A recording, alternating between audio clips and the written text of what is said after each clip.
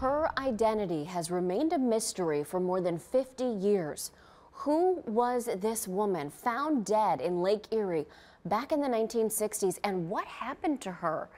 It is a cold case out of Cleveland that hasn't gotten much attention until now. Investigator Sarah Goldenberg continuing our series on Unidentified. There aren't many details available about this Jane Doe.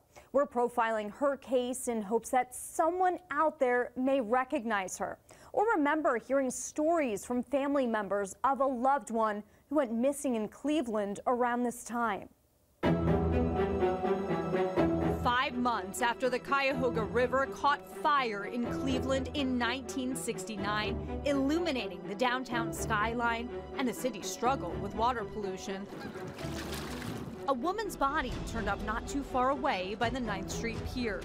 That November, a water department crew with the city cleaning a sewer nearby found her caught in pilings.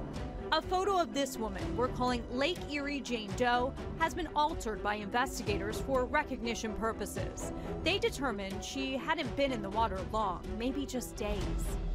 Here's what we know about this Jane Doe. She was white, 35 to 45 years old, 5'5 and 201 pounds. She had short black hair and brown eyes, and a small scar on the right side of her lower abdomen. She was wearing an aqua dress and jewelry when she died, including a ring on her left hand ring finger, revealing she may have been married.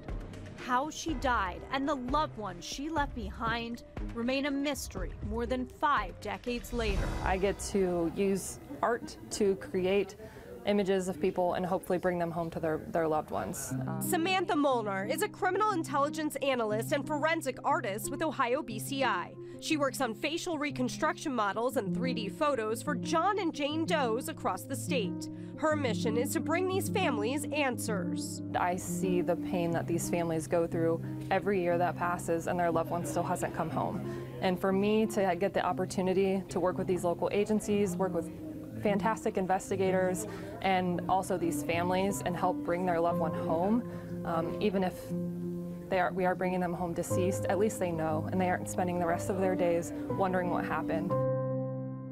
We checked NamUs, the National Missing and Unidentified Persons System, and found 25 missing persons have been checked for a match to this Jane Doe and excluded.